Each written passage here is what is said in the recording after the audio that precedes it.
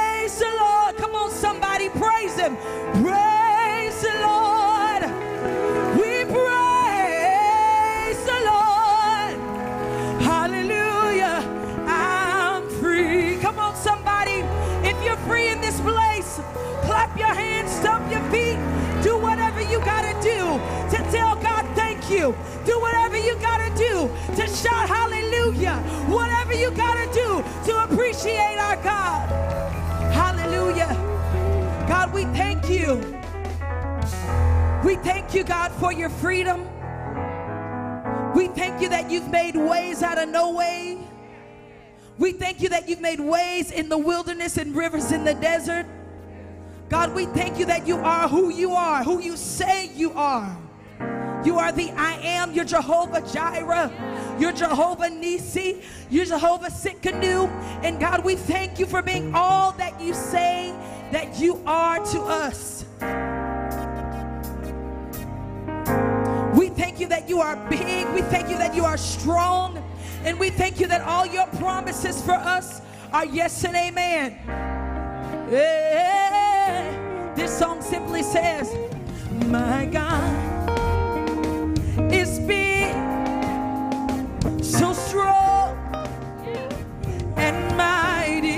Put your hands together. His plans for me goes beyond my wildest dreams. See, my God, my God, is big, is big, so strong, so strong, so mighty, so mighty. and His plans, His plans for me. For me. We gonna switch it up. Is victory.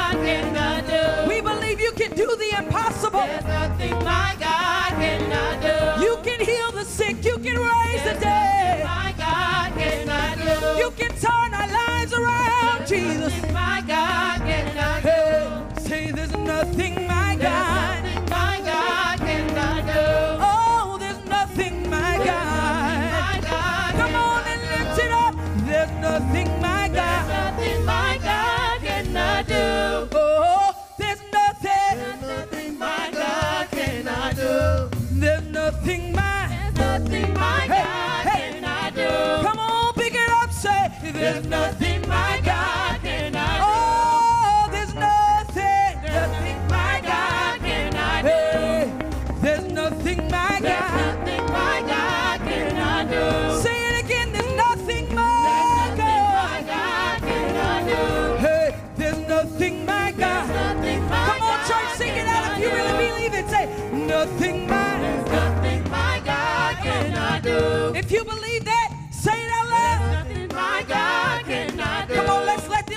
Like you believe it. There's nothing.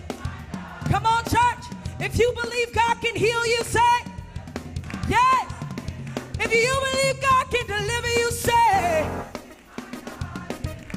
oh, say, hey, there's nothing my God cannot do. Come on, everybody, there's nothing my God cannot do.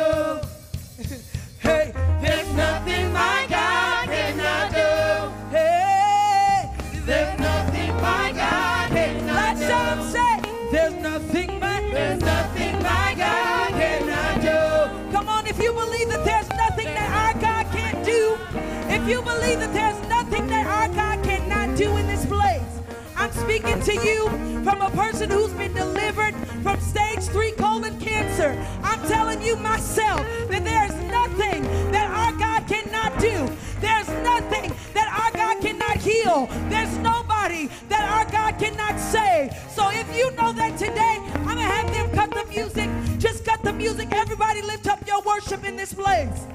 Everybody lift up your worship. Lift up your worship. Lift up your worship. Lift up your thanks. We don't need drums. We don't need a, a band. When God heals us, there's no band there. When God delivers us, there's no band there. When we're lonely and He comforts us, there's no band there. So lift up your voice this morning to your King, to your Savior. Come on, hallelujah. God, you are amazing. You are amazing. You are amazing, God. We love you. This is your people, oh God. We love you. We love you and we praise you because we believe you. We believe you for miracles, signs, and wonders. And even if you never do it, we believe it because it's who you say that you are. You say that you are the miracle worker. You say that you are the promise keeper. You say that you are the light in the darkness. And God, we thank you for that.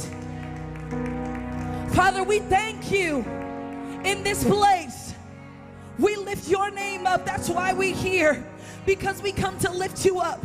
That's why we're here, because we've come to give you praise and to share with somebody else how you saved us and to share with somebody else how you healed us. That's what we're here for, oh God. Oh, you turning lives around, and I worship you. I worship you. You are here and you're moving in our midst, and we worship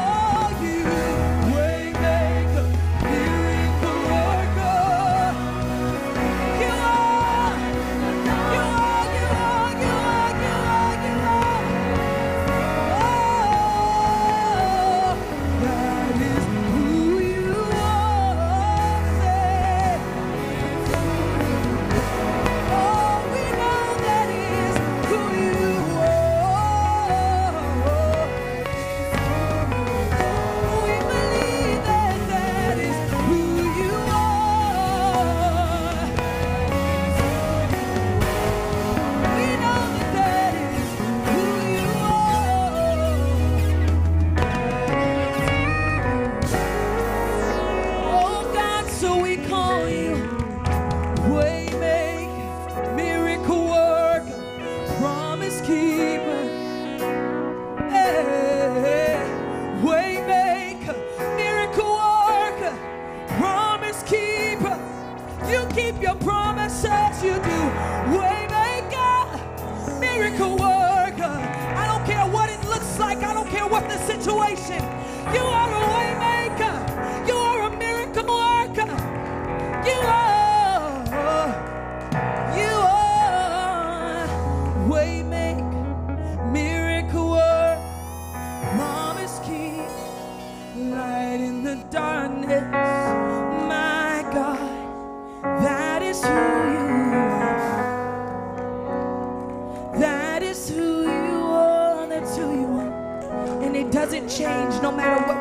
Through, Father, that is who you are.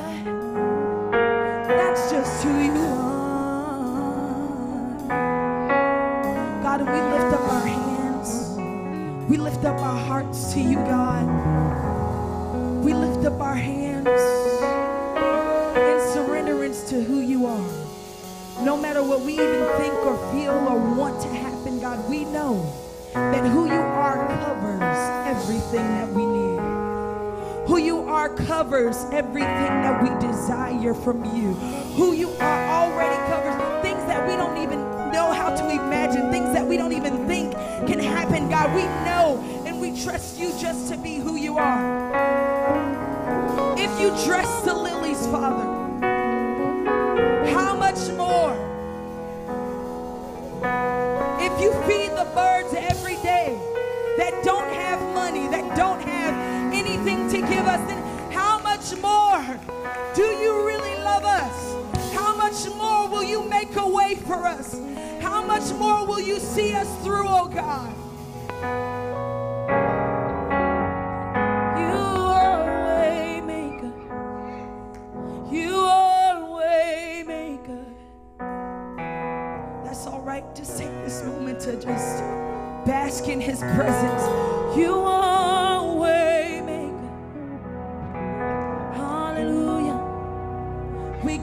glory. We give you the praise.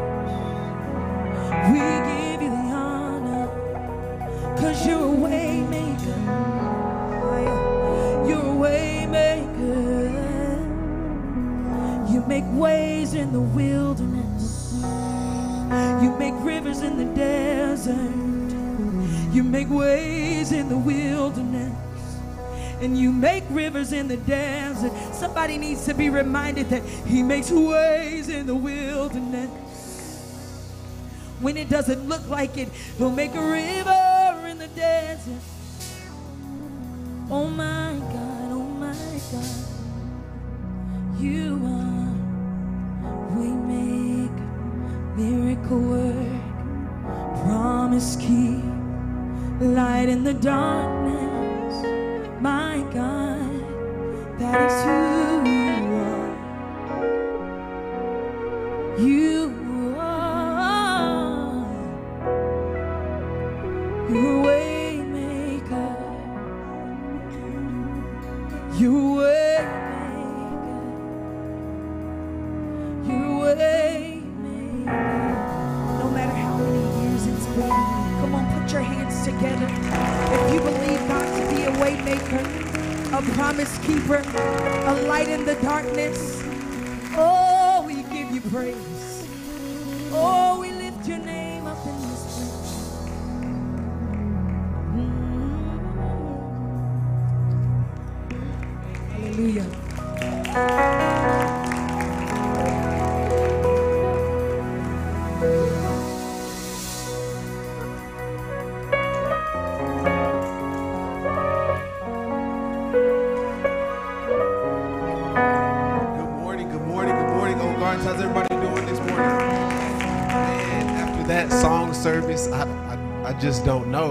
Was amazing this morning. And if you would excuse me, I am, I'm literally, uh, I have chills because I was back there getting restored, right? I was back there filling up my cup because that song service was so good this morning.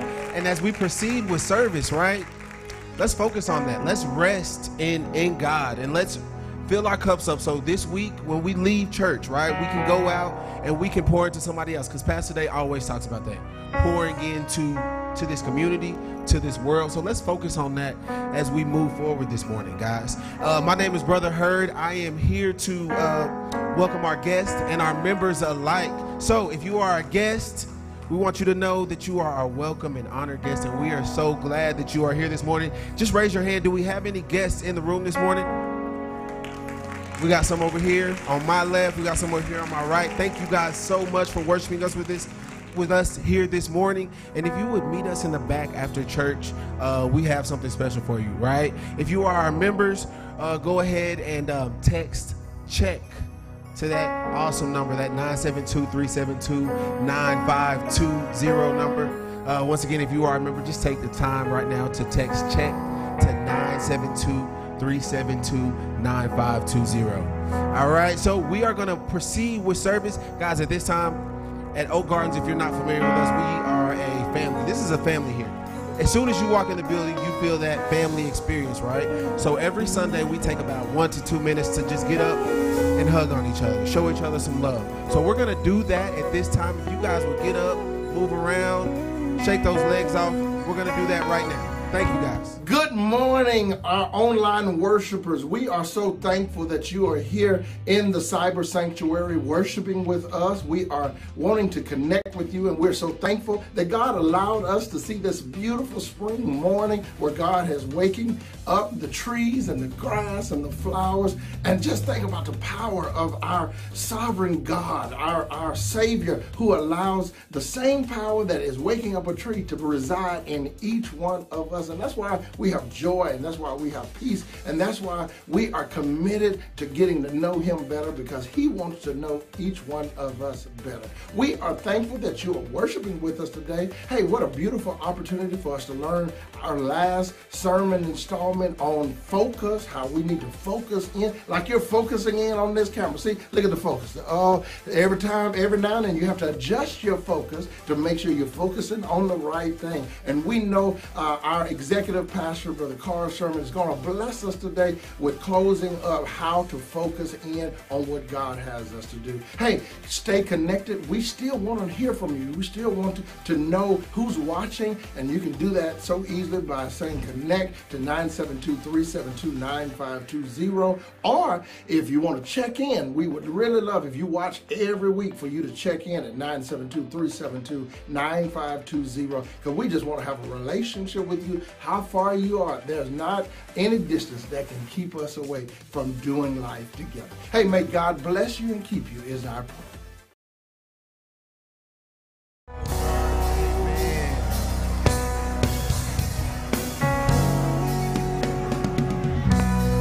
It's an awesome feeling. It's an awesome feeling. Showing somebody some love.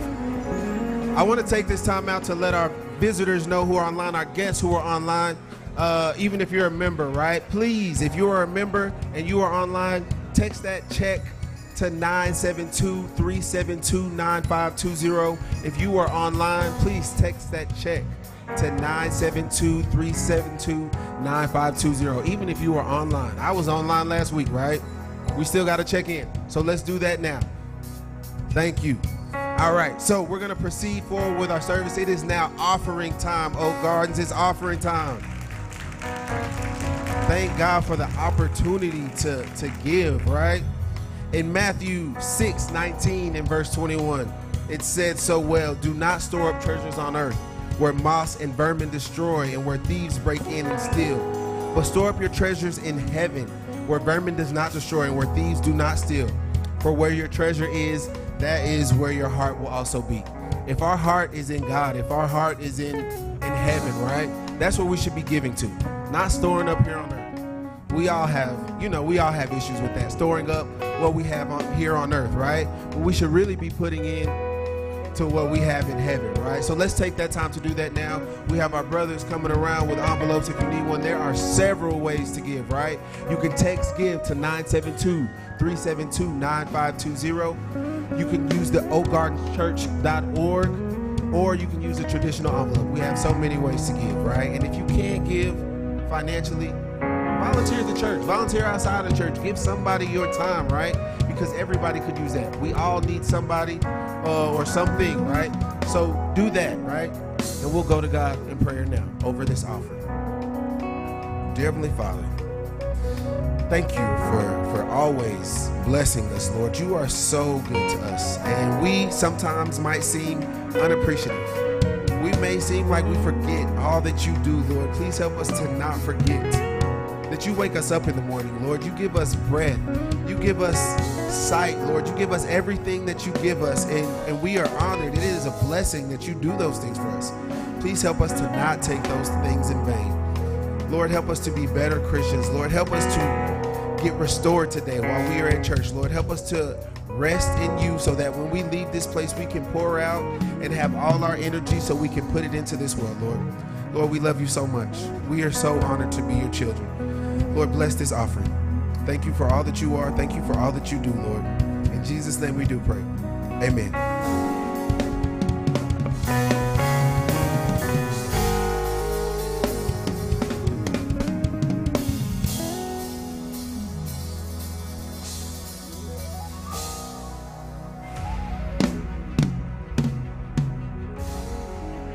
What is that one word that if you allow God to marinate it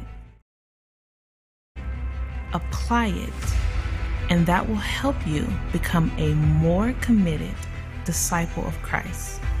A word that will drive you into growing and developing into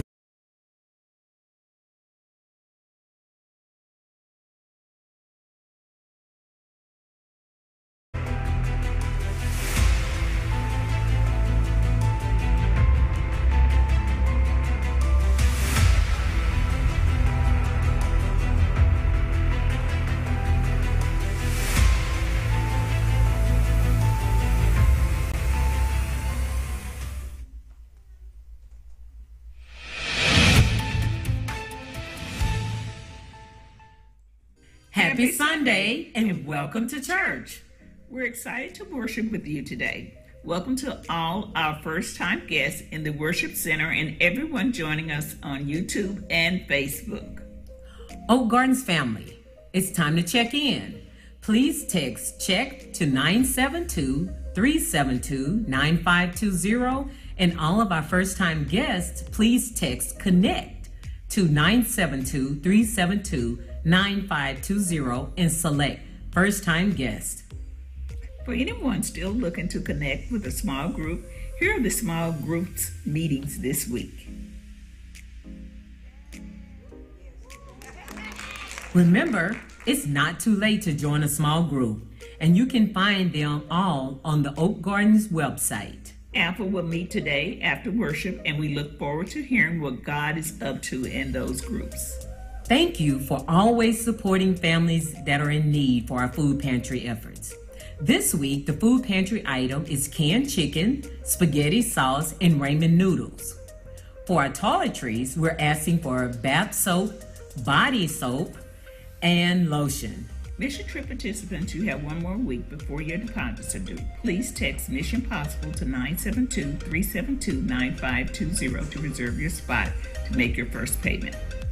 If you need additional information, please text me at jmetlin at oakgardenschurch.org. And if you want to help support those attending, you can chip in by texting Project Uplift to 972 372 9520. And Project Uplift is hosting a fundraising event on April the 1st, 2023 at 10 a.m. to support the race to 30K. This coming Saturday, join us in the warehouse to see if there is anything that catch your eye. All proceeds will support the Ngati mission trip. Life can become overwhelming at times. If you're in crisis or need someone to talk to, we now have a new spiritual care ministry designed to provide spiritual and emotional support for people in crisis. If you need help, text CARE to 972 372 9520. Easter is two Sundays away, and Dr. Day has already been preparing a sermon to talk about how Jesus flipped the script and gave us the plot twist to all of plot twists. So plan to arrive early to join us in celebrating our risen Savior. This is just in. Hey, ladies. So we have decided to reschedule the Waco trip to another date. However, we're still going to get together on April the 15th. We're going to a production in Fort Worth. The play is called The Mountaintop Play. It's at the Circle Theater and it starts at 3 o'clock. But I want us to hang out and have lunch prior to the play. So meet me at the church at 12 o'clock for us to travel to Fort Worth. Now, regarding your tickets, you got to go online to buy your tickets. Go to thecircletheater.com to purchase your tickets. We have a group discount. The code to use is OAK23. It will take $5 off your general price for your tickets.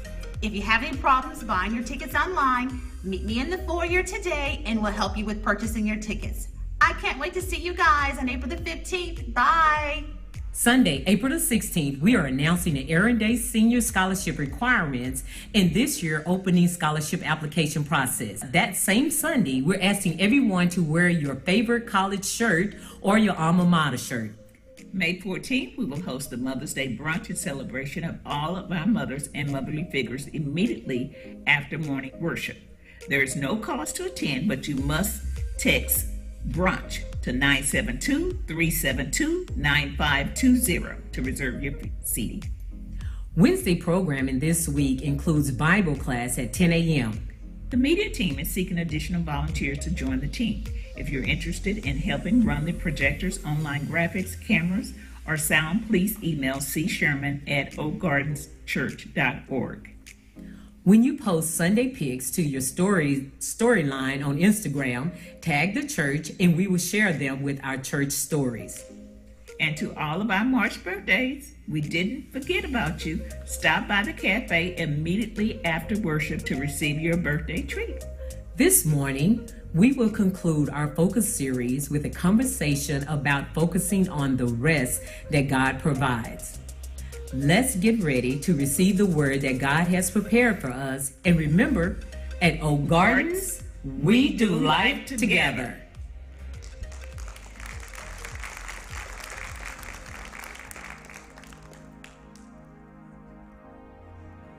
Come on, everybody, if you could just stand to your feet one more time with me to worship our God. If you know there's nobody like our God, just, just say something to him. Say something to him, talk to him. God, there's nobody like you. There's nobody beside you. There's only one you. There's no one above you, no one beside you, oh God. And we thank you. We thank you, God, that there's only one name. Oh, there is only one name. There is only one power to save. Yeah, with power to save. Oh my God. There is only one name. There is only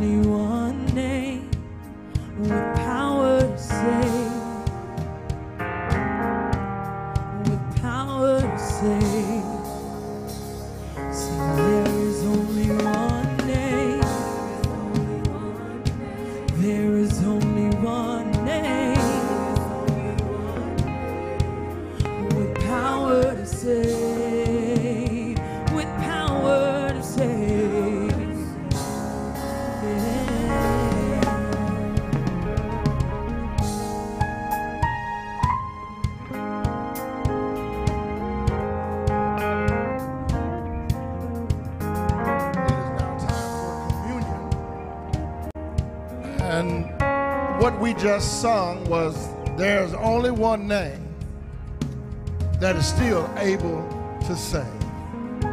If you don't mind sitting with us just for a second, our leaders are coming around. If you need communion, they will pass you out uh, the cup to remind us of the death and burial of our risen Savior. There was a song that our sister just led about two songs ago that I think, y'all play that softly, y'all play that softly, that I think identifies to us what we're doing here today. One of the songs, it seems like we kind of got off beat and and some drums was doing something, some guitars was doing something, the singers were doing something. And you know what our sister did? She stopped the whole thing to get everything back in rhythm. Now, now, now, let me tell you about that. Some people, I heard two or three y'all say, Amen. It, there are people around you that can always see what's wrong, but they don't celebrate when it's right. Now, now, now, let me let me tell you what communion is. Uh, sin has gotten us off beat. And, and when you sin, you're not in rhythm with God. Since Genesis 3, our drummer in our life, our guitar in our life, our piano, our singing in our life are all singing four different songs. But when you accept Jesus Christ as your personal Savior, it's amazing how things get back in line because He's the only conductor that can get things back in rhythm.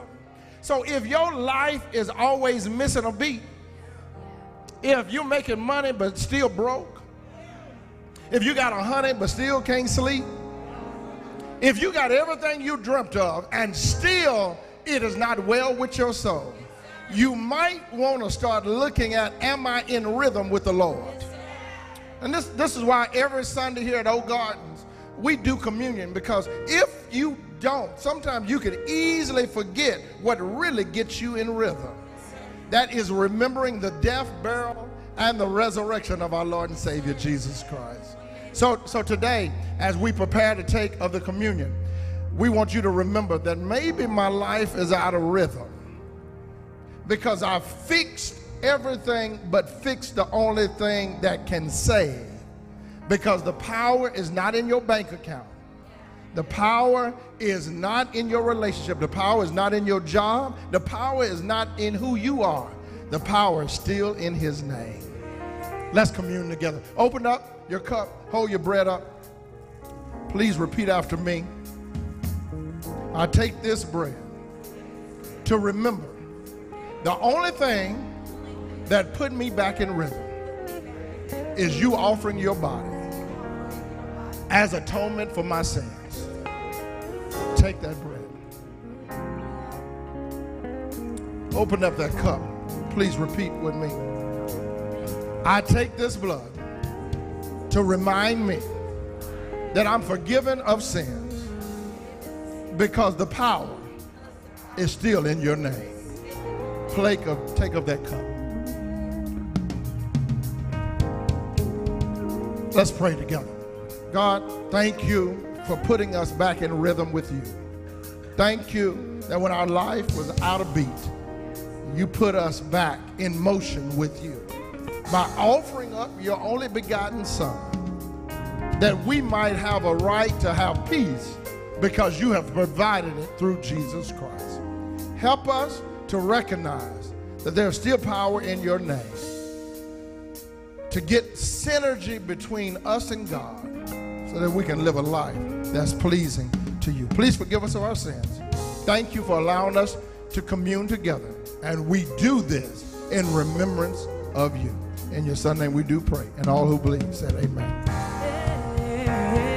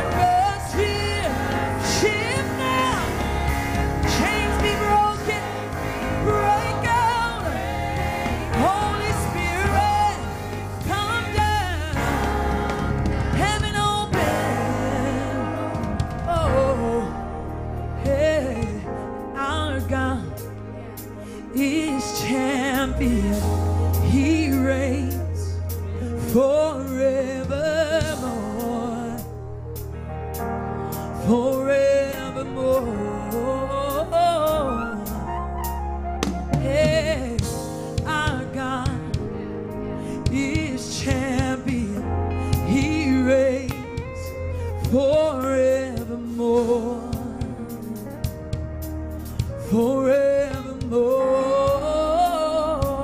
Say it again, everybody. Just say, our God, our, He's champion.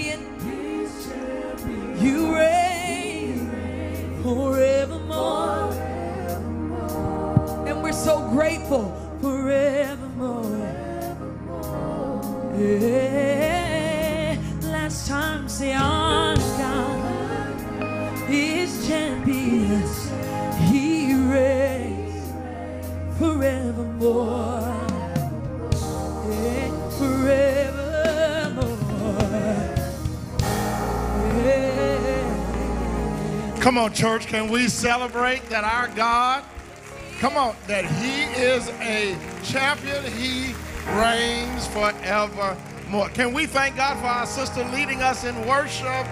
Amen. What a gift to the body of Christ.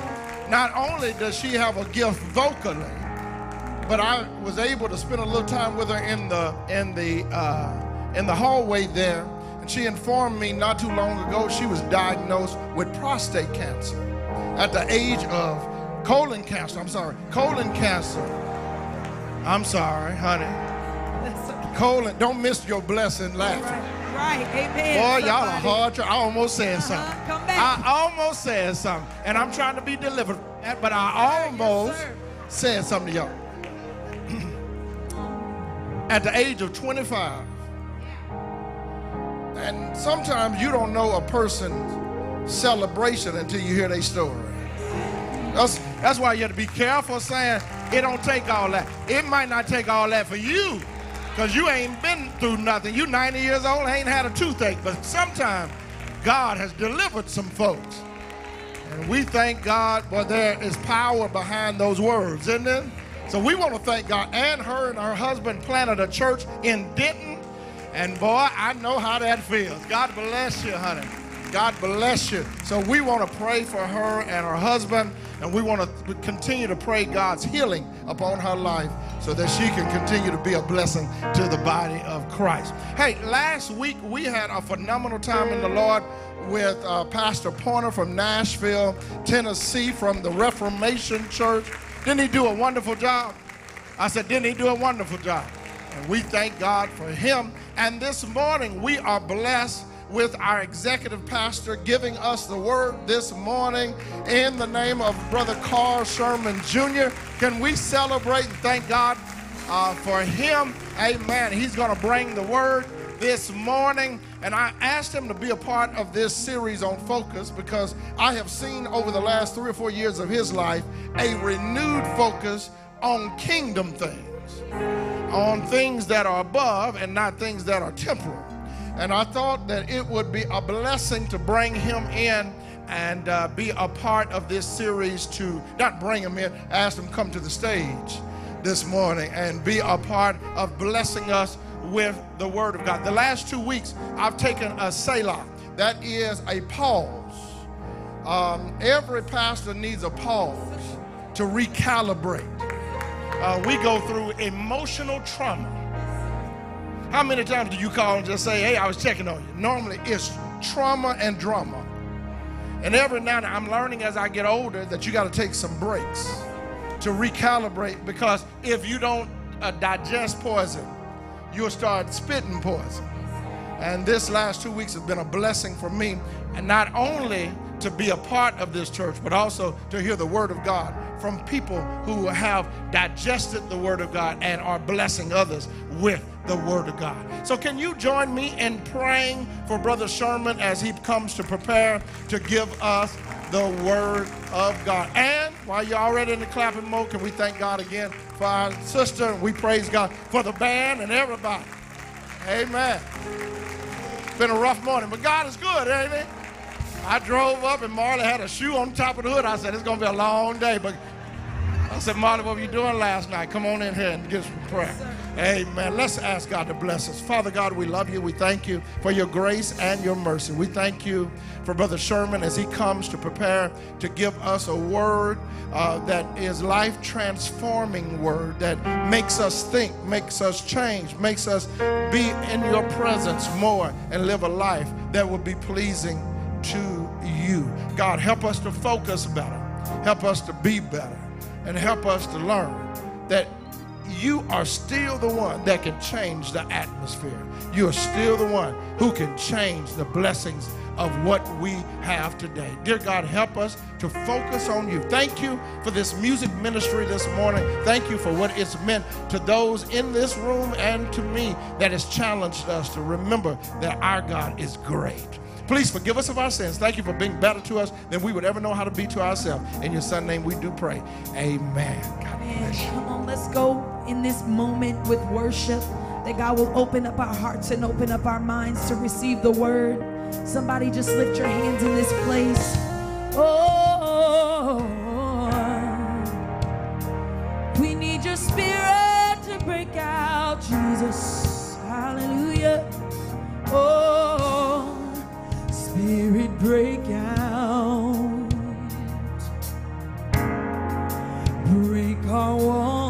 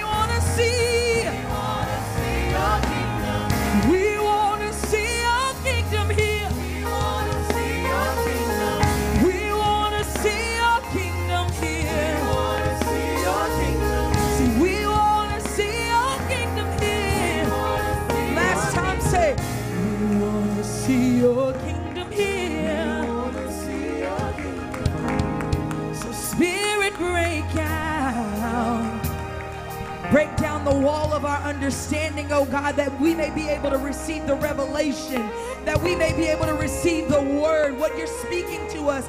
Break down what we think we know about you and teach us something new, oh God. Refresh us, restore us, oh God. Renew us. Send a fresh wind into this place, God. Breathe on dry bones today, God. In the name of Jesus, God, we ask that you allow your spirit to break out in this place. Spirit, break out in this place. Save somebody, heal somebody, restore somebody. Spirit break out.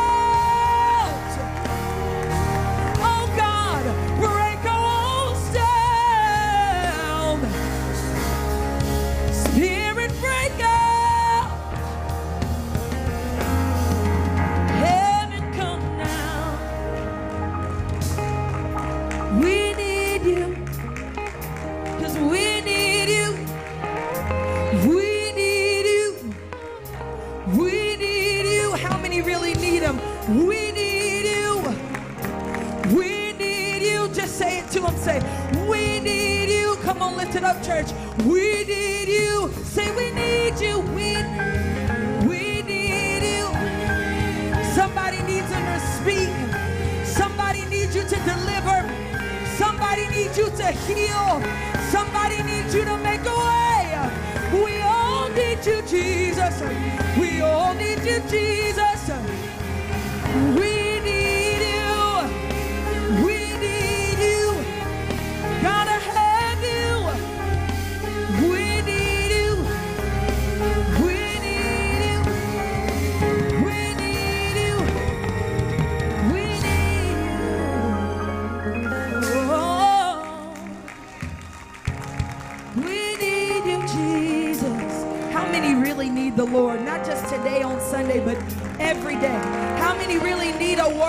God? How many need to hear his voice on today for direction, for clarity, for whatever it is that you need in your life? If you really need him, just lift your hands up and say, God, I need you.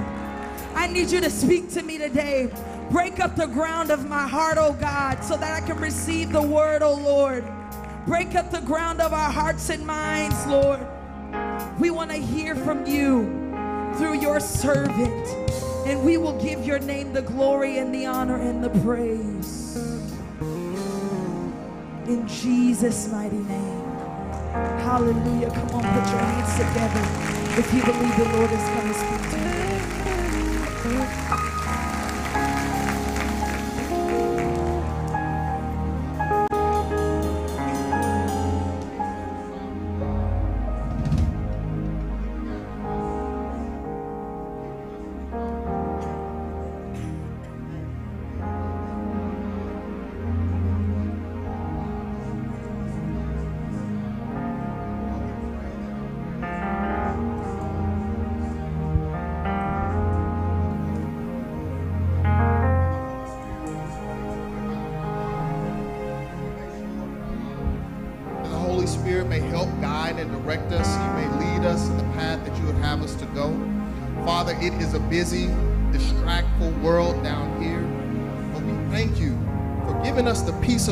Be in this place at this time. And just as you, your spirit is falling fresh on this praise and worship, I pray that you will speak through me, that the Holy Spirit will give me the words to communicate to your people, that I can be a conduit and a vessel of the life and lived experiences that you've given me, but through our time together, Father, that you be glorified, that we may walk away with some practical things that may support us in the days and months and years to come. Lord, praying that you just show up in this place and have your way. In Jesus' name we pray. Amen. Amen. Thank you. Thank you. Thank you.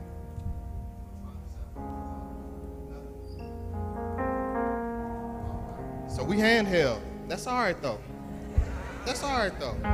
Good morning, Oak Gardens. Good to see each and every one of you today. It is a pleasure. It is indeed an honor and a privilege to be standing in front of you. Uh, Dr. Day uh, put me on the spot. He sent me an email. Even though he was down the hall, he sent me an email. And that email said, hey, exactly what he just shared with you all. Um, I've been observing you for the past several years, and I feel like this subject of focus you might be able to speak to. I might be able to help out. So I had the honor and privilege of speaking on Wednesday night, Wednesday morning, the first Wednesday of this month, and uh, to close out uh, the end of this series, uh, focus. And today's topic of focusing on rest. And so y'all know, if, if, if y'all been around and y'all have heard me preach, we're not gonna be here long, but prayerfully.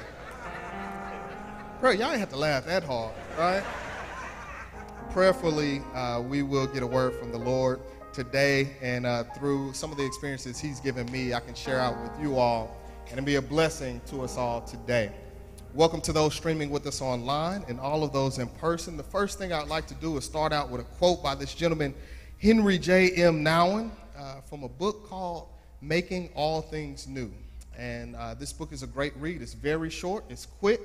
Uh, but in this book, he outlines uh, the distractions that we have in life, how everything's competing for our attention. And this quote is lifted from it. He says, Since we're always preparing for eventualities, we seldom fully trust the moment. Has that been any of you going through life that you're always preparing for what's next? Always worried about what's around the corner, always distracted by the trials and tribulations that face us, and we get consumed with that so much that very rarely can we trust the moment. How does that show up in our lives? There are times when things are going well, things are going good, things are good in the house, and you just say, Well, it's too good to be true right now. Things are good on the job, everything's going well and it's rolling. Well, I know every any day now, somebody's gonna trip and it's gonna be a problem. There are things that happen to us in life, experiences that we have that get in the way of us fully embracing the present moment. He spends approximately 180 pages or so compelling us to be present and lays out the biblical uh, reasons and guidelines for why we should be present each and every day. And so, since uh, focus is our title or, focus is our theme for this month, just a refresher. I know y'all know what focus means. I know you already know what it means, but just a reminder the second definition of focus is to pay particular attention to. If you've ever been out and bought a new car, all of a sudden you notice all of your cars driving around. It wasn't that everybody bought that car in your area, right? It wasn't that everybody went out and had the same idea as you, but it's that your focus was on what you just purchased or were thinking of purchasing, right? And that's how easily our focus is drawn. It's whatever we pay attention to. And so today we're going to lift uh, for a subject focusing on rest, and that rest being found in Jesus Christ. So the question I want for us to ponder this morning for just a few more moments, right? That question is this What do you think God wants you to do with your life? Not what you want to do, not what your family does, not what your employer says you do, but what do you think God wants you to do with your life? The prerequisite for this is that God is our source.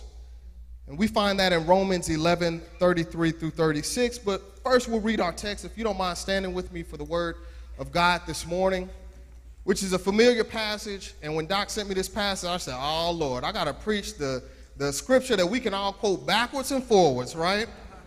But prayerfully, we can get something uh, fresh out of it today. The Lord is my shepherd. I lack nothing. Y'all say, I lack nothing with me. He makes me lie down in green pastures. He leads me beside quiet waters. He refreshes my soul. He guides me along the right paths for his name's sake for his name's sake. Even though I walk through the darkest valley, I will fear no evil, for you are with me. Your rod and your staff, they comfort me. You prepared a table before me in the presence of mine enemies. You anoint my head with oil, my cup overflows. Surely goodness and love will follow me all the days of my life, and I will dwell in the house of the Lord forever. Lord, we love you. Please speak through your word today. Speak to us. May our hearts and minds be open to hear and receive the message that you have for us today. In Jesus' name we pray. Amen. Amen. Be seated. I'm snot nosed because uh, Emerald Campbell, I guess praise and worship leader, sang and pulled all these tears out of me. And I thank Zay for bringing tissue all the way from over there. He had the vantage point to see me wiping tears because I can remember the journey. I can remember needing the Spirit to fall afresh in my life. I can remember where I was in my in my disappointment, frustration with life. I felt for much of life that I had simply fallen into it. I felt like life was just happening around me. And although it appeared on the outside that I was on top of everything and had everything going, really when I pulled back the layers, I realized I wasn't doing what I wanted to do. I dang sure wasn't doing what God wanted me to do, if I could be very honest and transparent with you. And I wasn't happy with what was happening around my life. And God created a cascade of events to get my attention, to shake me and to wake me up and put me on this path. And that's what I want to share with you guys a little bit today. But it won't make sense if we don't have this same principle, the same core tenet that God is our source. And that's period. I know we got jobs, and those are resources.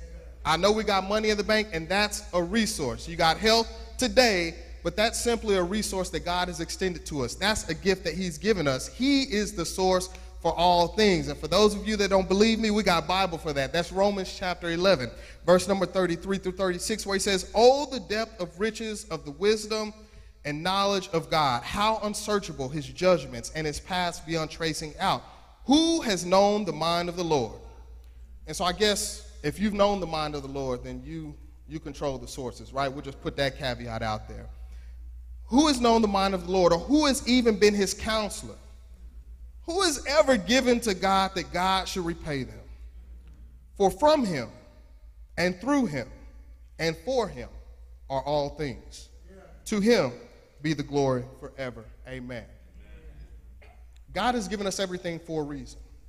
He's entrusted, it with, entrusted us with our gifts and our talents and everything that we possess in life that He's entrusted us to manage are at His direction and they're for His glory. And that's something I had to wrestle with, if I can be real honest and transparent with you, as I, as I ain't even gonna ask for permission. Y'all ain't gotta nod your head or, or none of that, right? I'm just gonna tell you about my experience. And, um, and the best thing that happened to me was losing an election. Lost that election by eight votes. And for y'all that's in numbers, and God is a God of numbers, eight has significance, right? But I lost that election by eight votes. And uh, it was the best thing to happen. It's the best thing that happened because I was free. I was free to do what I wanted to do. I was free to be who I wanted to be. And in reality, I really didn't want to run for the school board in the first place. My wife can tell you, I told them, y'all got one year out of me. They couldn't find anybody. I ended up doing that for six years. I learned a lot of stuff along the way, had a ton of experiences, but at, at the core of it, it wasn't what I wanted to do. And God knew He had to remove me from that place so that I could become the healthiest version of myself. And a part of that journey, a part of that journey took me to therapy, right? So, you know, if y'all don't like therapy, you know, I want to I want to encourage you to have a conversation with somebody who can be a neutral party to listen to what you have to say, to help you process information. And this therapist I was working with, she moved to LA. And uh, so I was going back and forth to LA for a little bit. Anytime that I had a business trip, even if it was in San Diego. I drove the two hours to get to LA to have this conversation. And I know we've got some, some uh, California delegates online with us, and so they know these places, but, and I see a woohoo here. But I would stay in LA proper, but then I would drive to a few different places. I would drive to Manhattan Beach and spend time there, just at the Pacific Ocean, me and the Lord. I would drive up to Point Dume and that's in Malibu. I didn't stay in Malibu while I was there. but I commuted to Malibu and, uh, and parked at the free parking and, and walked over to this, this cliff. And this one particular time, I would start my day, you know, and enough time to be in the car by 6 a.m. to get there. And I ended up sitting out there for about two hours. And then sitting there, it was just me and God having a conversation. It's that long, never ending conversations. I don't know if any of you have had that. And in that conversation were a lot of feeling words. Lord, I feel disappointed with where I am in life. Lord, I feel like I don't know what you want me to do next. Everything's falling apart and nothing's making sense. Lord, how can you show up for me in this moment? I processed all of these things. I say it was a never ending prayer because, you know, it was intermittent, right? It was sitting and listening and having a conversation and waiting for something to come back. It was watching the sea life out in the ocean. It was watching the sun change positions in the sky.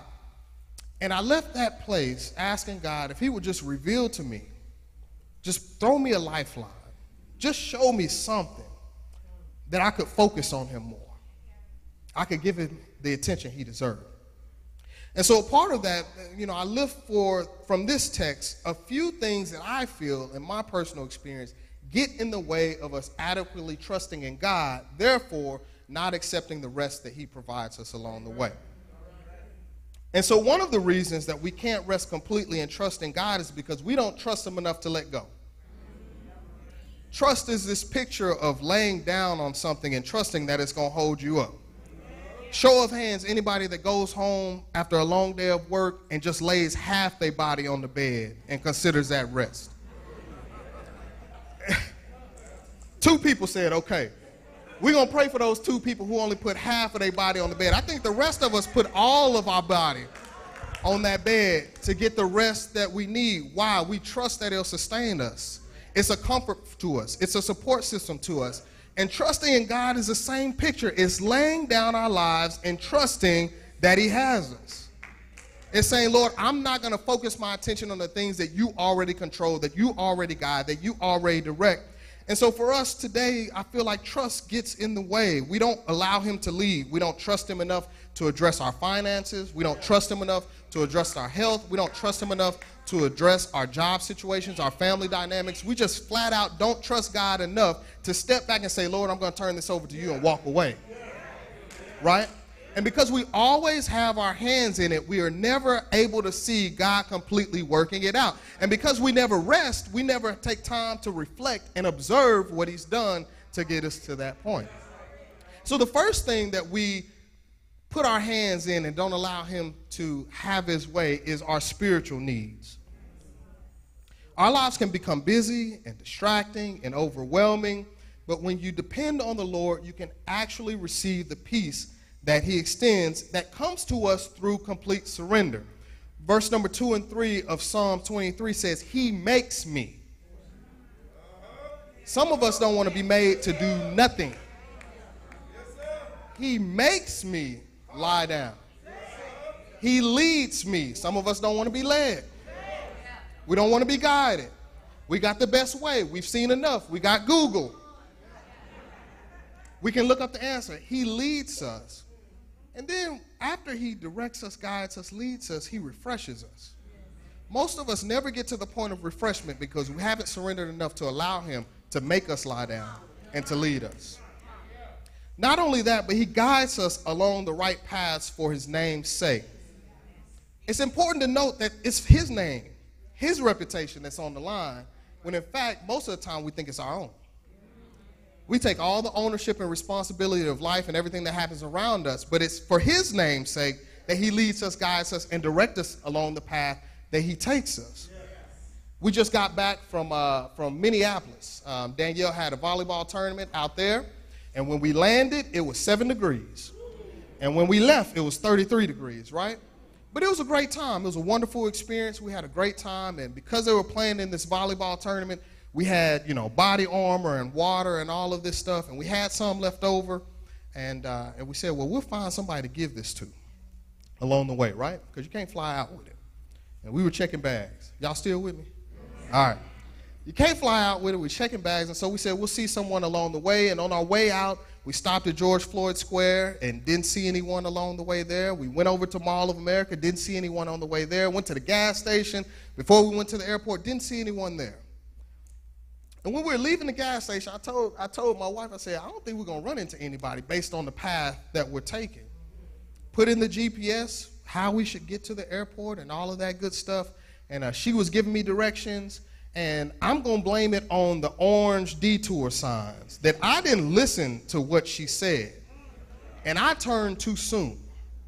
And turning too soon, going the opposite direction, we passed this gentleman who was sitting in a wheelchair. He had one leg. And I said, You know, do you think he can handle this water? Because it was a big bag of, of water and, and body armor and all that stuff. And we made the determination that we didn't feel like he could, right? The light was green anyway. I said, well, maybe that's a sign. The light was green. We made the U turn. GPS is still talking to us, telling us which way to go to get back to our destination, right? And along the way, I said, no, that don't sit well with me. I think we need to turn around. I think we're supposed to give it to him. We're supposed to see if he can, if he can handle it, right? So all the while, the GPS is screaming at me now that I've turned around going the opposite way, right? And, and I'm thankful she didn't have an attitude. She just kept saying it in the same cadence, hand tone, you know, turn around, make a U-turn in 500 feet, right? All of that good stuff. And this time, and, and I actually made a comment to Veronica, you know, I'm glad that the GPS doesn't have an attitude because GPS, what if it just said, you know, let me know when you want to get to where you're trying to go. What if, what if it just said, you know, just, just holler back at me when you're ready to get this direction? But we, but we turn back and we go back, and, and this time the light is red. We're the only car there. Roll down the window and ask him if, you know, if, if he wanted some water and power He said, heck yeah, you know, I want it. And we rolled down the window, we hand it to him. He saw all of it, right? He's like, oh man, that's a blessing, right? Fist bumps us, and we go back. But that was the Holy Spirit directing and guiding us, absent the GPS that was telling us to go a completely different way. And many times in our lives, we allow worldly GPS to direct and guide us because the Holy Spirit within us is so weak and so fragile that we're not willing to be obedient to listen to what He has to say. In that He guides us for His name's sake, you take the disposition that even if I'm a little late getting to where I'm supposed to go, even if I feel like I'm not where I'm supposed to be, even if I feel like life is not going the way it needs to go, it's just a mindset to say, The Lord has got me because His name is on the line. And so God is very much interested in our spiritual needs, and we have to take a step back and allow Him to do so. The next thing that gets in the way is our emotional needs. This is where we like to spend a lot of time, right? Emotionally. I feel like they did me wrong. They don't know. I gave that job all the best years of my life, and this is how they gonna do me.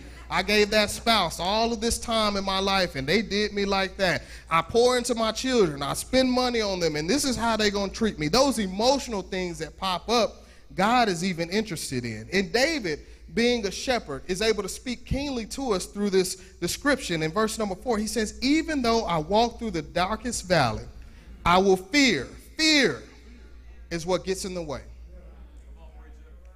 Fear of failure, fear of disappointment, fear of being let down, fear that things will not work out the way that we plan for them to work out. Get in the way of us enjoying the comfort that He provides. And you can't skip over what's in between because that comfort comes through two things. He said, Thy rod and thy staff, they comfort me. A lot of times we see that rod and that staff and we try to take off running. Wants no parts of that. Want, don't want the Lord to pull us closer. Don't want Him to put more responsibility on us. Don't want Him to call us to a deeper level of commitment.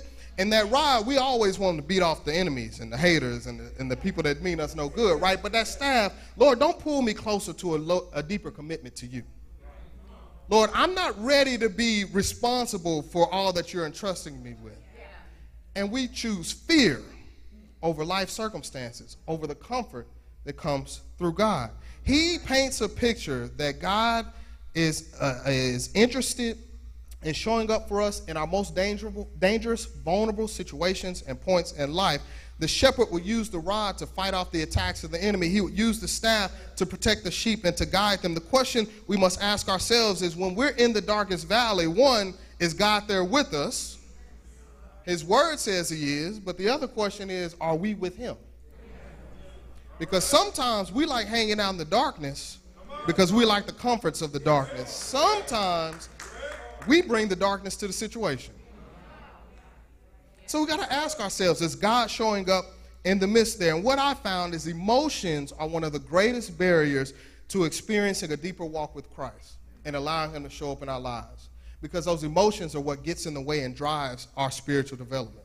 Amen. It blocks us from experiencing the comfort that He has for us. And David is able to communicate that our, our emotional needs are met when we choose comfort over fear. I told you about that time I was sitting out at Point Dume and uh, in Malibu and, and having this conversation with God. And the very next day, one of my mentors who stays in Compton, this is for our, our California delegates, right?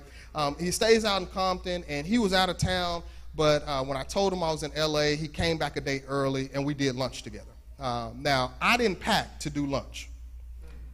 I didn't have the clothes to do lunch, right? So I went to TJ Maxx and bought me a shirt and bought me some jeans, right? And got ready to, to go to this lunch that I was unsuspecting of why he came back in town early, why we were supposed to be meeting today, but I was appreciative of it, right? For me, he's a mentor, so that was a free lunch for me, right?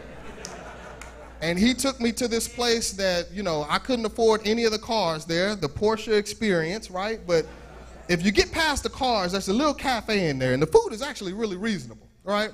And we're sitting out there and we're having lunch. And um, before I went in, because I got there a little early, I prayed and asked God to speak through me and give me what He wanted me to say, what He wanted me to communicate.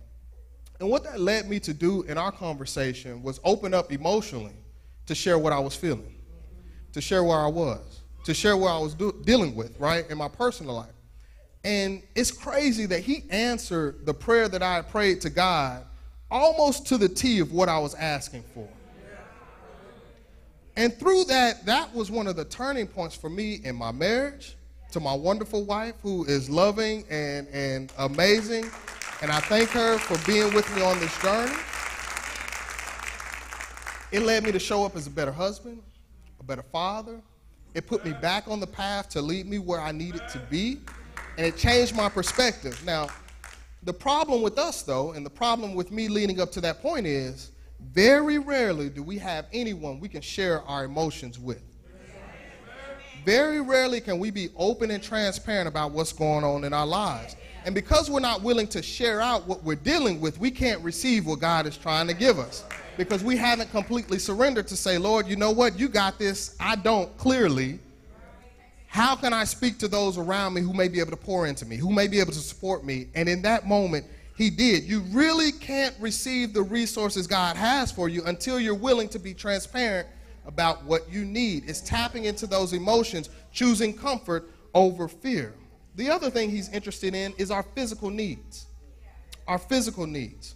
Verse number five says, You prepare a table for me in the presence of my enemies. You anoint my head with oil, my cup overflows. God is willing to meet our physical needs, but if we see through life, if we see life through spiritual eyes, we can actually see what he's doing and shifting around us to bring us closer to where he is, where that comfort can be found. In reflection, David could recall the times. You know, David was the first Mr. Steal Your Girl, Bathsheba.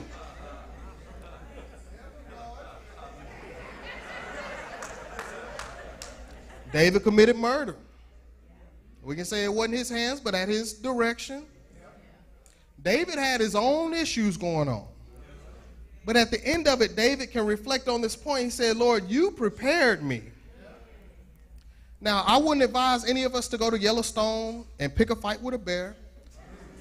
I wouldn't advise anyone to find the person who told you on site next time to just walk up to him and have a conversation.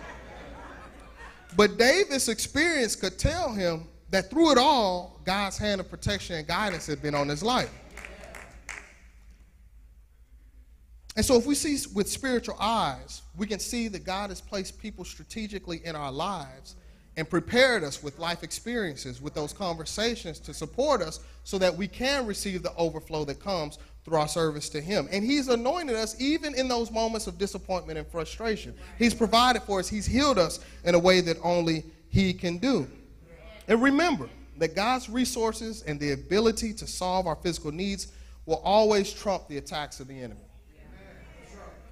even as we're going through life, sometimes it feels like, you know what, it's just not clicking. It's just not moving the way I expected it to. And, and, and for me, a part of this journey for us as a family was we had looked out, we said we wanted to move. We picked out the neighborhood we wanted to move to. We picked out the community we wanted to go to. And as life started to fall into place, I had conversations with people and, and, and was a consultant for a company. And we had this deal done, I thought. The deal would have paid for the house. The deal would have allowed us to move. Everything was good. And I'll never forget. Veronica was out doing training in, in Phoenix, and the kids were with me. And y'all, leading up to this move, uh, uh, Tori, you, you and I had conversations about it. Leading up to this move, we spent time in that community. So we would drive 40 minutes to go get ice cream just to get the energy and the vibe of the community, right? We go eat over there. We go spend time in that neighborhood. And uh, this one particular time, we're driving, we were going to get food at Jake's on 360 and Broad. Yeah, he said that's good. The kids don't like it. They said, let's not ever go here again. But, but we're going, and I get this call, this deal that I thought was done, this deal that I thought God was leading to provide for our family, to shift our trajectory, to move us to where I felt we needed to be. And uh, this deal that everyone said, man, this is the smoothest deal we've ever done. Everything's flowing, everything's good. He called me to let me know that it had fallen apart. And in that moment, y'all, man, it was rough. It was rough sitting across from the table with my, with my kids, telling them, you know, the Lord, He He got us. It's gonna be all right. You know, it's it's we're in a good place. And He never you never go back at people. Don't repay evil for evil, right? Having all those conversations. Man, I got in that car on the way home with them. Man, I'm telling you, uh, you know, we put on praise and worship music. I'm singing all off key, you know, all that stuff. The closer we got to the house, I started crying. Kids in the car, they ain't know how to respond, you know. And and I love my boy. He was he was 13 at the time. We get ready, we walk in the garage and get ready to come through the door. He just turns around and gives me a hug and says, you know, Dad, it's gonna be all right. And I was appreciative of that in that moment, right? But the reality is, what I was trying to solve our physical needs with wasn't what God had for us. And then you fast forward a few months, and God just set it up where we kept going down this path, right? We found a house. We put in an offer on the house. We went and visited the house. It was a house everybody loved. They went in, found their rooms docked. They were excited about it. It's right across the street from the high school that they're going to be at, right? Everybody's feeling good. At the time, there were no offers in, and when we put in an offer, they said, "Well, there's one in front of you." So we're like, "Man, what's going on?" We went and prayed in front of the house, right? Like they said, we'll let you know Monday. We went Saturday night, Sunday, like, Lord, if it's your will, let this house be ours, right? All of that stuff. You know, kids sitting in the back, like, what's going on? In my mind, I'm like, Lord, don't put me on the spot like this because I serve you, I trust you, and don't let this fall apart. And as God would have it, it didn't go through. And what we didn't know was that I would tear my Achilles a few weeks later. And the cost savings we needed to be in the house that we ended up being in was exactly what God had in store for us, right? But if I had been willing to chase him down so much so that I wasn't willing to surrender to his will and continue to try and make it mine, like we often do with our physical needs, wants, and desires, we would never been able to experience the blessing that we have in this place that we are.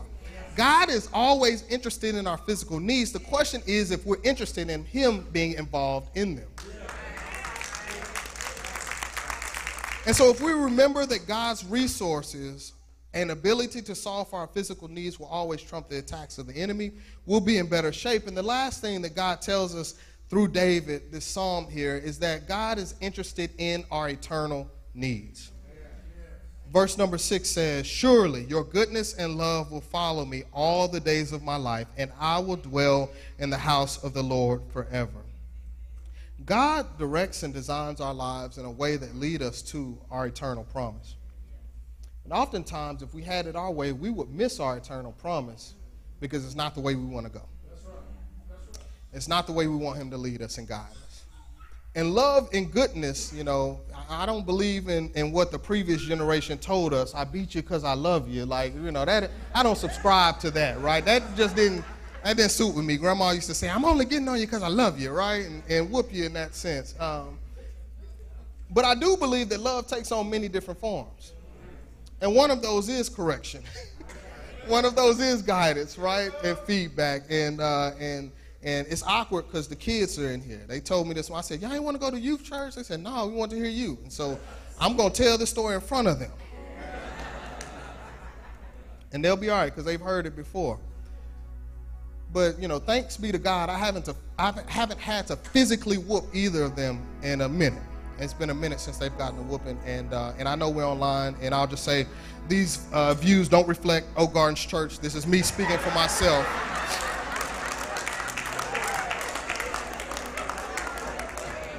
And I thank God for a wife who's on the same page, right? And we knew early on we had to break their will. Terrible twos didn't last long in our house because we knew terrible twos led to terrible threes, fours, fives, sixteens, eighteens, and and so we we we went hard for the first few years, and uh, and so they got a healthy respect for us. That's why the look is effective, right? And we ain't gotta say, we ain't gotta count down three, two, one. No, just.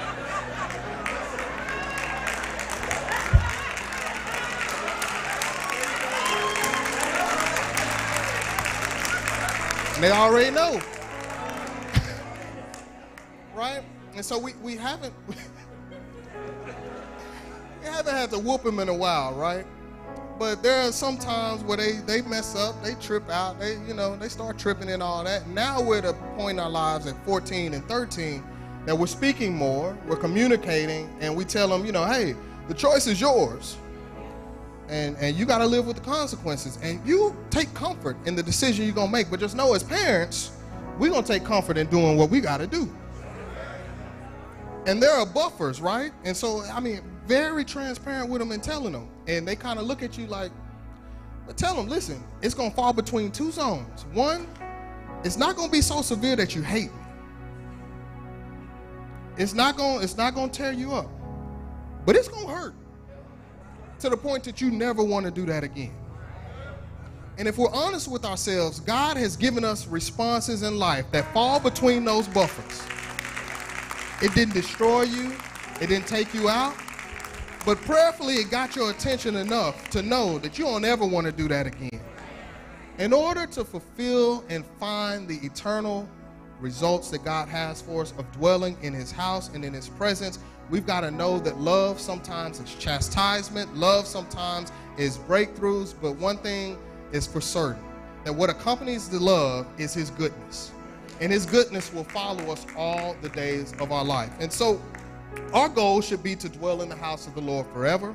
And the only way to realize that eternal goal is to acknowledge that God is willing and able to cover not only our spiritual, emotional, physical needs, but also that He's already provided a solution for our eternal needs as well. And so, you know, the story for me has been a story of restoration. It's been a journey of, of several years of getting to this point. But if I could just say one thing to us, it would be this quote from Clive Kaiser, who said, God wants you to be. It's not about his direction, it's about his presence. Wait for him to lead, and you just follow. He has led me down some interesting paths but the one thing that I've come to experience and appreciate is his presence being along the way. And if you can, I'm telling you, if you can ever get to that sweet spot where you just feel him in the conversations around him, you just feel him showing up to give you the words to say, you just feel him and how he guides the conversations around you with your employer, with your family, with your friends, with your circle of influence. That's a space you never want to leave. And so here are a few things that we can do to focus a little bit more and to experience the rest that God has for us. First, trust God to cover your spiritual needs, trust Him to cover your emotional needs, trust Him to cover your physical needs and those eternal needs. And the last thing is surrender to the Spirit. Surrender to the Holy Spirit in your life. And sometimes He'll call you to do things that don't make a lot of sense. Sometimes He'll cause you to show up and be present in a way that you didn't anticipate, didn't appreciate, right? Because it called you out of your comfort zone. But go with the Spirit. Go with the Spirit and allow Him to lead you. And lastly, fast to be closer to God. Y'all, I, um, I've got a prayer partner, Ron Wayne, and um, great guy. And I was having a conversation with him this week. Y'all know we've been out of town, and coming back, it was hard to get the rhythm. Like Tuesday, Wednesday, it just felt like things were off. I couldn't put my finger on it, couldn't trace it. And then finally, I realized, oh, Doc asked me to preach this week. And so everything on focus was what was being attacked in my life, right? To focus on him, to focus on that rest. And so he said, you know what, man, I think we should fast. You know, because I got something similar going on. Let's fast. And so we fasted from Thursday night up until this morning. I had breakfast and it was good, right? It didn't matter what it was. But um, but through that process, I asked God for some very specific things. I asked him to show up in my life and communicate to me in a way that only he could. And, and I don't want to scare anyone, so I'm not going to go into detail unless you got questions on it. We can talk in the foyer. But fasting and surrendering to him, he showed up and provided me the answers in which I was seeking.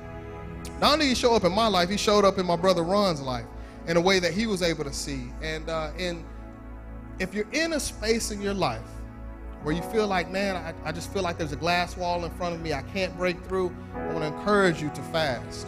It doesn't have to be food, Fast from that thing that takes your attention away from God. Fast from the thing that you feel like will allow you to draw closer to Him. And watch what He does in your life.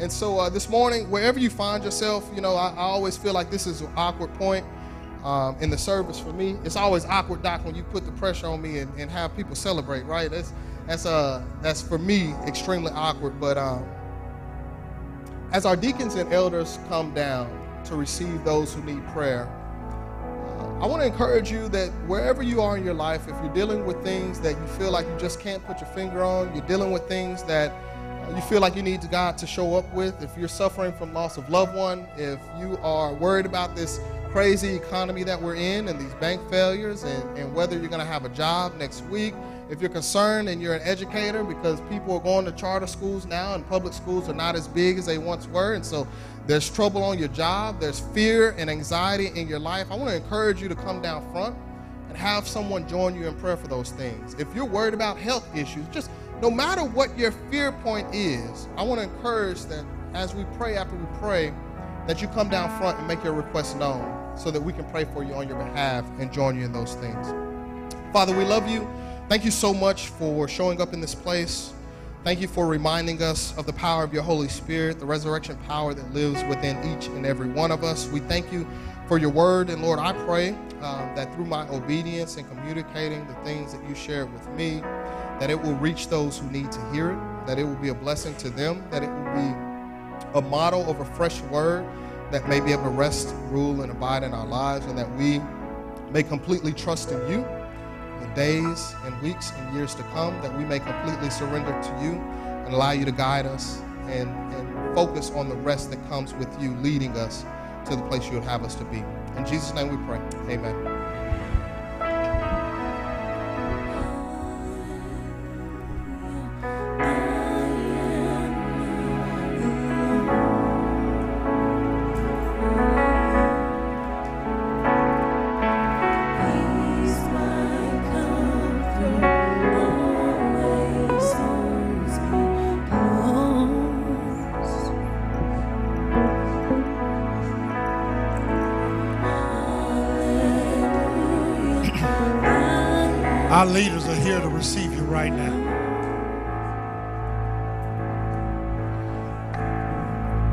Brother and Sister Coleman? Can I? I need your help.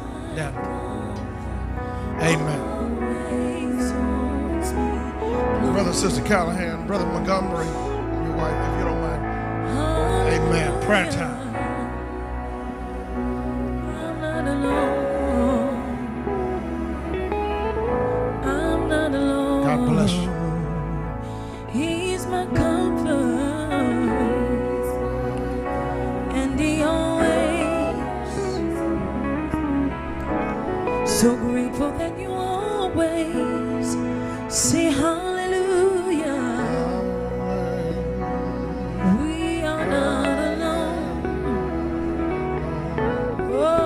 Come on, just spend this time right now. Sing, am I close to God? Am I really surrendering to Him? Am I letting everything go that I try to control? God bless you. God bless you. God bless you. God bless you. Am I really letting it go? We are not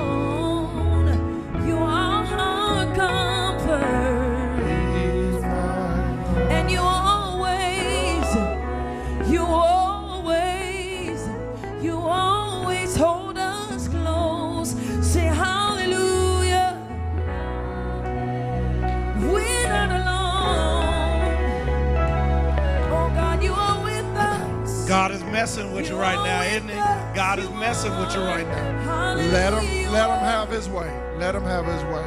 You always hold us close. For your spirit lives within us. Your spirit guides us. Your spirit leads us. Say hallelujah. You live within us, oh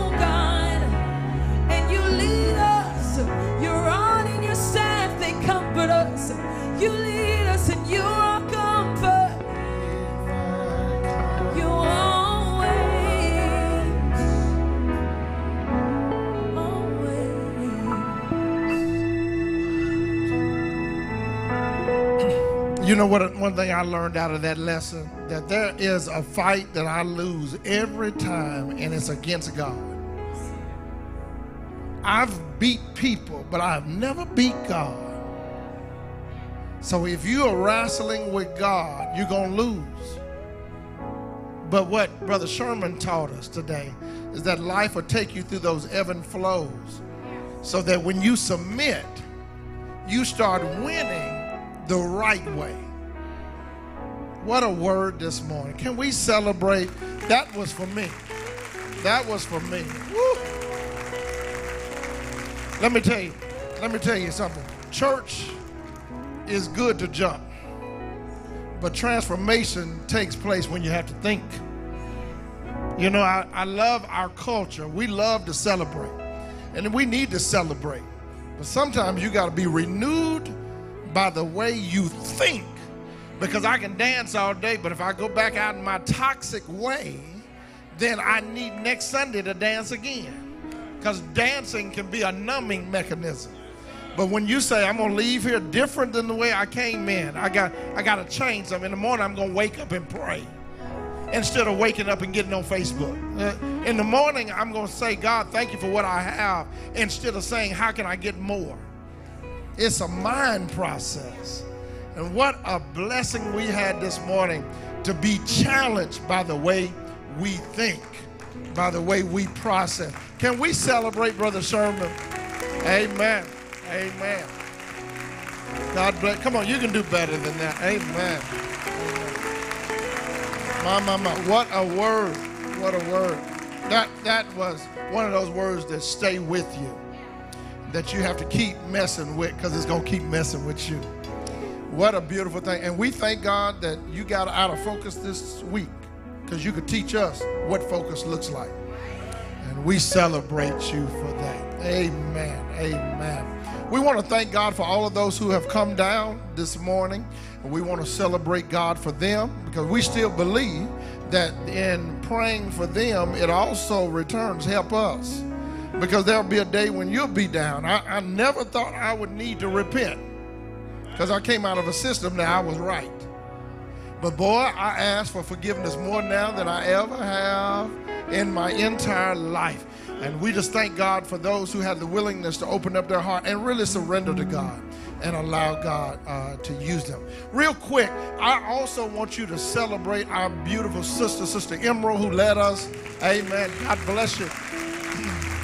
Don't you leave here without bathing her and Sherman in the love of Jesus Christ. Amen. If you don't treat her right, she won't come back. She won't come back. We want her to come back, and we praise God for her ministry uh, this morning. Real quick, we got some great things going on here at Oak Gardens. But sometimes the Holy Spirit can't work because we cocoon ourselves.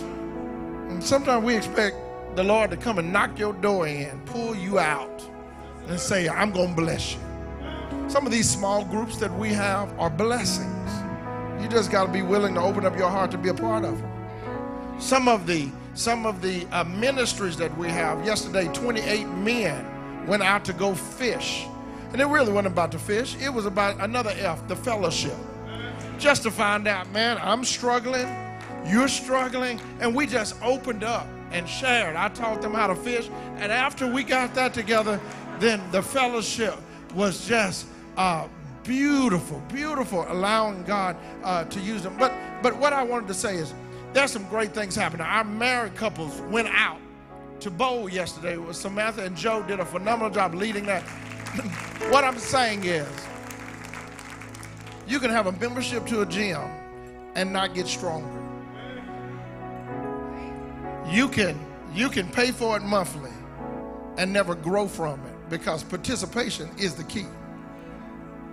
And all of these things that that we have Wednesday night Bible class, men's Bible class, women's Bible class, is for the ability for you to do what Sherman just preached to us be drawn closer to God. So that's the intent, that's the goal, not to be doing stuff, but to be intentional about what we do. So that you and I can say, life will come, but what resides in me is greater than that thing that's trying to change me. That being a part of a relationship with God is the key of all we do. Amen. All right, so you want to get in where you fit in. Our leaders will be at the door uh, welcoming you and praying for you. If you did not want to come down, they will be there to pray for you and guide you. Our uh, worship, our prayer team is still on the wall. Brenda and all of those a part of that, we want to, and Brother Warren and all of those are part of that, want to be there and uh, be there to pray for you. If you're visiting today, we would love for you to become a part of the family. You can do so so easily by going to the Connect room, and they will be there to minister to you. Or if you're online or in this place and don't want to go to that room, you can easily text 972 372 9520. Just put in the word Connect. One of our staff members will reach out to you this week to uh, get to know you deeper and get to know you better. What a blessing it was for us to be here today. Amen. I'm going to do better off of hearing the word of God. And we love the teaching style of the ministry uh, of what he did for us this morning. Come on, let's pray and let's do our statement, and then we'll all be ready to go and pour out what's been poured in. God, thank you that you taught us this morning through Psalms 23 how to rest, how to reflect, how to restore, and even how to renew. Thank you for our worship leader this morning. Thank you for Sherman who blessed us this morning. Just thank you for being in the house this morning. We needed this. I needed that word to help me to re refocus on the things that are right to do. Help us all to have that spirit this morning. God, as we leave here today, help us to not just be moment worshipers, help us to be eternal worshipers. That every day we recreate a new refocus so that we can always stay in your presence. Thank you for an opportunity to be with you this morning. But God, we invite you to invade our space, fix the stuff that we don't need, eradicate the stuff that's holding us back. And dear God, pull up the things that we know that we learn from a young age that needs to be the center of our focus. If we seek ye first and do right, all these other things shall be added unto each one of us. Thank you for this moment. In your son's name we do pray. And all who believe said, Amen. Come on, church, at Oak Gardens. At Oak Gardens. What do we do? We do life together. May God bless you and keep you, is our prayer. Well, just like that, the last Sunday in March has come to an end. We hope today's lesson and time of worship helps set the tone for you and your family this week. If we can pray for you this week, text prayer to 972-372-9520 and let us know how. See you next week at 9.30 Central.